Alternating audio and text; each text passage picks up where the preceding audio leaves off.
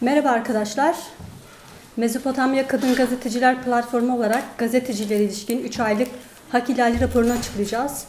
Öncelikle bu raporun Türkiye'nin utanç raporu olduğunu belirtmek istiyorum. Türkiye e, günler geçtikçe, yıllar geçtikçe bu utanç raporuna her yıl bir tanesini daha ekliyor. Oluşturduğu tek sesli medyasıyla e, toplumu bilgiden, hakikatten koparmaya çalışıyor ve kendisine karşı duruş sergileyen e, muhalif medyayı, özgür basın geleneğine saldırmaya çalışıyor. Arkadaşlarımızı gözaltına alınıyor, tutuklanıyor, kafalarına silah dayılarak tehdit ediliyor.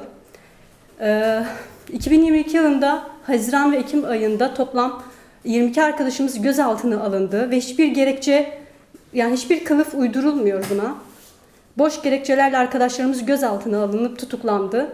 Bugün yine bu gözaltılar devam ediyor. Sabah erken saatlerde e, Demokratik Modernite dergisinden gazeteci arkadaşımız Sema Korkmaz gözaltına alındı. Kürt kadın gazetecileri olarak, e, özgür basın geleneğinin ardıları olarak e, bize yönelik bize yöneltilen bu baskıları boşa çıkararak toplumu hakikatten toplumu hakikate ve bilgiye buluşturmaya devam edeceğiz.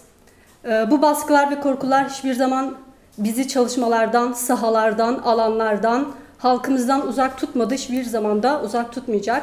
Biz devletin, sistemin baskısını her zaman üzerimize hissediyoruz. Bize mesaj vermeye çalışıyorlar. Biz bu mesajların da farkındayız. Baskılarınız bizim mücadelemizi daha da büyütüyor, daha da artırıyor. Öfkemizi daha da artırıyor. Meslektaşlarımız kadın olmaları, muhalif olmaları veya özellikle Kürt gazeteciler gibi kimliklerinden dolayı çok daha fazla baskıya maruz kalmaktadır. Engellenmekte, saldırıya uğranmakta, hedef alıp tutuklanmaktadır. Ve çoğu kez de 16 Haziran 2022'de Ahmet'te tutuklanan 16 arkadaşımız gibi iddianameleri 10 ay sonra hazırlanarak yargı süreci adeta bir işkenceye dönüştürülmektedir. Bizler bu saldırıların hem tanıkları hem de yaşayanları olarak bir yandan mesleklerimize sahip çıkarken bir yandan da kadınların görünürlüğü için mücadelemize devam ettik, ediyoruz. Ve ne yazık ki bu saldırıların ilk olmadığını, olmadığını bildiğimiz gibi son olmadığını da farkındayız. Ama buna karşı bizleri koruyacak ve büyütecek olanın da örgütlülüğümüz ve dayanışmamız olduğunu farkındayız. Cezaevlerinde hali hazırda en az 18 kadın arkadaşımız tutuklu bulunurken detaylarını vereceğimiz 3 aylık rapora göre Ocak, Şubat ve Mart aylarında yine en az 3 ayda 33 arkadaşımız hakim karşısına çıkarken haklarında ve soruşturma açılan 7 arkadaşımız bulunuyor. Yine 6 arkadaşımız gözaltına alınırken 5 arkadaşımız cezaevinde çıplak aramaya maruz kaldı. Bir kişi hücre cezası aldı, 12 kişi saldırıya uğradı. İki, iki kadın gazeteci işinden edilirken üç gazeteci ise çeşitli hapis ve para cezaları aldı. Bir gazeteci tutuklanırken tutuklu bir gazetecinin de ne yazık ki infazı yakıldı. Bu amaçla hazırladığımız 3 aylık Ocak, Şubat, Mart hak ihlalleri raporu ne kadar ağır görünse de sahadaki varlığımızın bir o kadar da güçlü olduğunu söylemek isteriz. Ve saldırılar ne kadar pervasız olursa olsun buradayız ve burada olmaya devam edeceğimizi yeniden söylüyoruz. Bu amaçla Ocak ayına dair topladığımız verilere göre Ocak ayında en az 14 kadın meslektaşımız haklarında açılan davalar sonucu hakim karşısına çıktı. İki arkadaşımızda soruşturma açılırken bir arkadaşımız gözaltına alındı, iki arkadaşımız ise sahada saldırıya uğradı. Yine bir arkadaşımız işten çıkartılırken bir arkadaşımıza ise toplamda 4 yıl 10 gün hapis cezası verildi. Yine bu ayda 25 Ekim 2022'de işkenceyle gözaltına alınan ve 29 Ekim'de tutuklanan 9 gazeteciden olan kadın arkadaşlarımız Jinis muhabirleri Habibe Eren ve Öznur Değer ile Mezopotamya Ajansı Yazı İşleri Müdürü Diren Yurtsever, muhabirleri Berivan Altan ve Ceylan Şahinli'ye tutuklu bulundukları Sincan Kadın Kapalı Cezaevinde işkence devam etmiş ve 5 gazeteci çıplak arama saldırısına maruz kalmışlardır.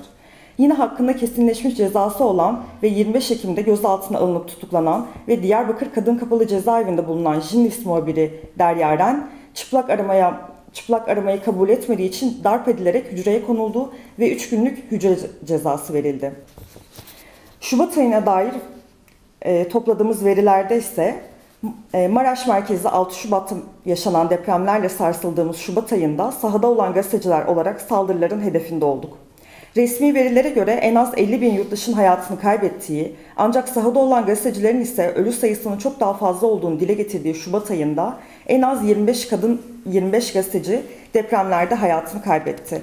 10 gazetecinin ise saldırı ve engellemelere maruz kaldığı bu ayda 11 gazeteci ise hakim karşısına çıktı. Depremin olduğu gün bir gazeteci tutuklanırken iki gazeteci hakkında soruşturma açıldı.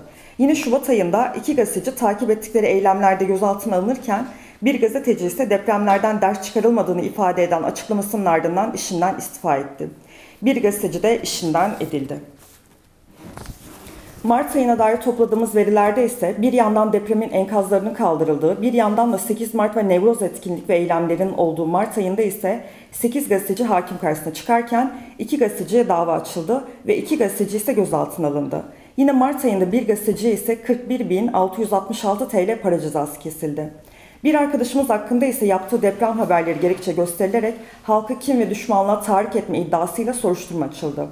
Bu ayda yaşanan bir diğer hak ihlali ise Sincan Kapalı Cezaevinde 6 yıldır tutuklu bulunan ve cezası bittiği halde tahliye edilmeyen gazetecimiz Dilan Oynaş, Oynaş'ın infazı ise dördüncü kez yıkılarak tahliyesi 6 ay daha uzatılması oldu. Halkların, çocukların, işçilerin, emekçilerin, kısacası öteki olarak alınan kim varsa onlara yönelik bir saldırı olduğu sürece ve düşünü kurduğumuz güzel günler gelene kadar bizler de bedeli ne olursa olsun hakikat mücadelemizden vazgeçmeyeceğiz.